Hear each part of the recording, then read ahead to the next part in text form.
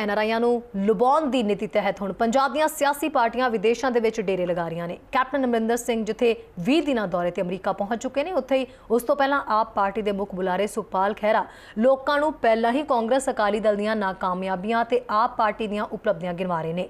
ਦੇਖੋ ਫ੍ਰਿਜ਼ਨੋ ਤੋਂ ਰਿਪੋਰਟ।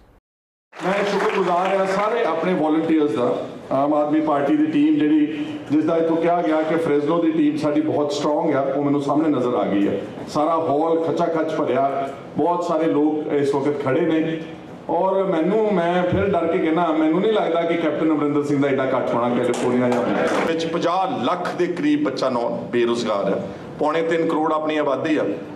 50 ਲੱਖ ਸਾਡਾ ਬੱਚਾ, ਲੜਕੀਆਂ, ਬੱਚੇ, ਮੁੰਡੇ ਕਿੱਦਾਂ ਪੜੇ ਹੋਏ ਜੀ? ਪੀ ਐਚ ਡੀਆਂ ਤੱਕ ਕੀਤੇ ਹੋਏ ਆ। ਔਰ ਕੀ ਉਹਨਾਂ ਨੌਕਰੀਆਂ ਲੱਭ ਰਹੀਆਂ? ਉਹਨਾਂ ਨੂੰ ਜੇ ਨੌਕਰੀ ਦਿੰਦੇ ਵੀ ਕਿਸੇ ਨੂੰ, ਤਾਂ ਕੰਟਰੈਕਟ ਬੇਸਿਸ ਦੇ ਉੱਤੇ ਅੱਜ ਨੌਕਰੀਆਂ ਪੰਜਾਬ ਦੇ ਵਿੱਚ 8000 ਨੂੰ ਟੀਚਰ 9000 ਨੂੰ ਟੀਚਰ 10000 ਨੂੰ ਟੀਚਰ ਜਿਹੜੇ ਮਿਨੀਮਮ ਵੇਜਸ ਨੇ, ਜਿਹੜੇ ਦਿਹਾੜੀਦਾਰ ਦੇ ਰੇਟ ਨੇ ਲੇਬਰ ਦੇ, ਉਸ ਰੇਟ ਦੇ ਉੱਤੇ ਲੋਕਾਂ ਨੂੰ ਟੀਚਰ ਭਰਤੀ ਕਰਦੀ ਸਰਕਾਰ। ਅਵਲ ਤਾਂ ਦਿੰਦੀ ਨਹੀਂ ਨੌਕਰੀ।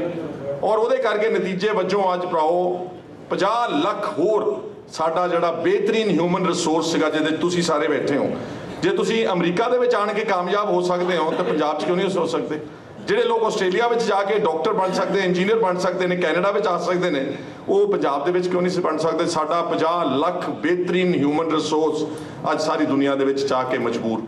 ਪੰਜਾਬ ਅਤੇ ਪੰਜਾਬੀਅਤ ਲਈ ਚਿੰਤਤ ਵਿਦੇਸ਼ਾਂ ਵਿੱਚ ਰਹਿ ਰਹੇ ਸਮੂਹ ਪੰਜਾਬੀ ਭਾਈਚਾਰੇ ਦੁਆਰਾ ਆਮ ਆਦਮੀ ਪਾਰਟੀ ਨੂੰ ਸਹਿਯੋਗ ਦੇਣ ਲਈ ਇੱਕ ਫ੍ਰਿਜਨੋ ਵਿਖੇ ਰੈਲੀ ਕੀਤੀ ਗਈ।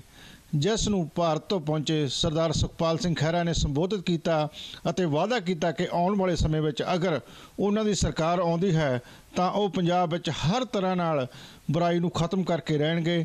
ਮੈਂ ਕਲਵੰਤ ਉਬੀ ਢਾਲੀਆਂ ਆਪਣੇ ਸਾਥੀ ਨੀਟਾ ਮਾਸ਼ੀਕੇ ਅਤੇ ਕੈਮਰਾਮੈਨ ਇਕਰਾਜ ਉਬੀ ਦੇ ਨਾਲ ਗਲੋਬਲ ਪੰਜਾਬ ਟੀਵੀ ਲਈ ਫ੍ਰਿਜਨੋ ਤੋਂ